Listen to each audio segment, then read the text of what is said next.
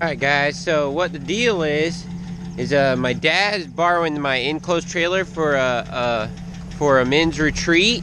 Um, they need to use it, you know, to put stuff in and stuff, so I let them use it. So I'm having to, I'm using the backup trailer, maybe for a week or two.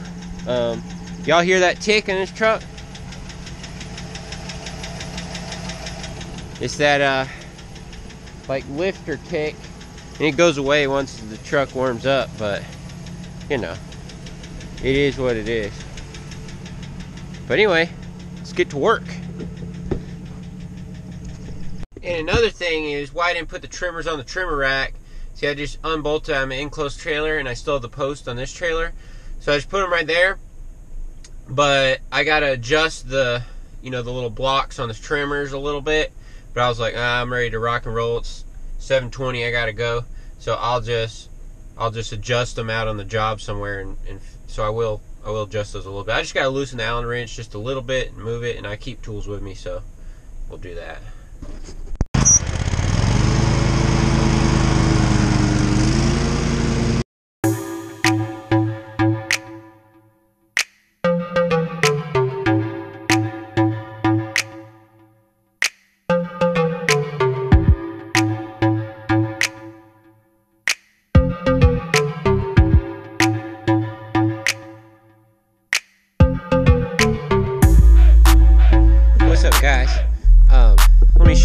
This situation right here. Uh,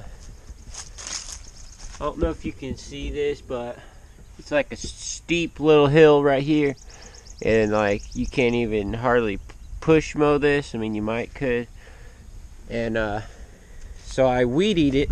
You know, it is dangerous to weed eat it. So what I do is I just uh, I just leave it, you know, probably three and a half inches or so, you know, so I don't get down low to the rocks. And um, also another quick tip: my my man, the Blades of Grass Lawn Care in Savannah, did a video about taking notes, you know, of uh, things that are going on in your properties before you do them. And uh, I'll show you what I mean. Like you see this crack right here. Um, I'm I don't think I done that. You know, I've been here for been doing this yard for years, but I think that was like that already before I started because because I usually always know, um, you know, when I crack window, I usually can uh, see the rock, and it doesn't look like a rock. It looks like something like it looks like they ran to it. I think that when they used to do their yard themselves, they might have like accidentally maybe hit it with the mower because it doesn't really have like a rock chip. Um, and like I said, it's been that way for a few years, and I think it was already like that. But it was a great video to to take into consideration to take note of things like that on your properties because you know it, it can really really help you. So so in this situation, I mean they've been here working, they're moving stuff in the garage and stuff, and haven't said anything about it. So I don't think it's me, but um, so I'm just gonna leave it for now. You know, I'll address the issue if they bring it up, but because I just don't think it was me. But um, but you know, it was a good lesson to uh, to you know take note of things when you're when you're estimating it. Um, you know, because uh, you wouldn't want to get blamed or something uh, that you didn't do, and um, so. So, like in this situation, uh, you know, like I said, it's been that way for years, and they never said anything. That's why I think I think they had done it. And like I said, I'm always real careful. I keep it high up so I don't get down by the rocks and stuff. But anyway, that was a great tip, and uh, let's show you a little bit of footage of uh, doing a little trimming right here. Okay.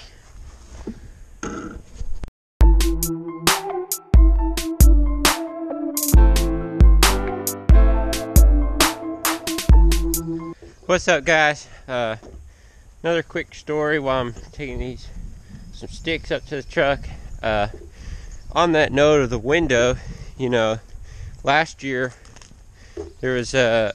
Uh, if y'all been watching my videos for a while, you had seen it, but there was a a, a Camaro, a customer's Camaro, and it had rained the night before, and so Uh, so you know, kind of moist and stuff. And then when I had done the, got done with the yard, uh, you know, I realized there was a little dust spot on the window.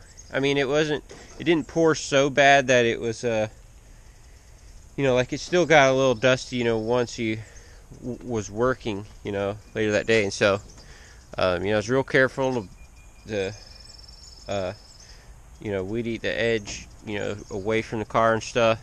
But he has like five cars lined up right along the edge of the driveway, and um, and so um, there's a little dust spot. There's a little chip in the middle of it where you can see like where a rock hit it. It didn't crack it or anything. It just had a little, little tiny chip. And so you know, because I'm anal about this, it's uh, you know, breaking the windows thing even you know, make sure you're discharging away from it and try to uh, really pay attention, guys, because it is a it is a problem every lawn care business. So I noticed it had that little chip, and so I called him and asked him. I said, you know, hey, I don't think that chip was always there. Um, check for me, and uh, he's like, yeah, you're right. The chip that was not always there. Um, and so so I replaced the window for him. I had it replaced. It was about uh, you know, I have insurance, but I didn't use insurance because it was only about like 275 or something like that. And the guy came and put it in and everything. And so, so I paid that.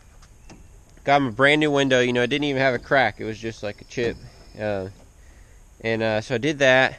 And it's so funny because, you know, now months later, that same customer that I went above and beyond to do that with, and now, you know, I haven't even been cutting his yard the last month or two because he, you know, like way behind on his bill, uh, on his money. So, you know, it's just one of the things, just kind of the one of the things about this business. But I love the business, so.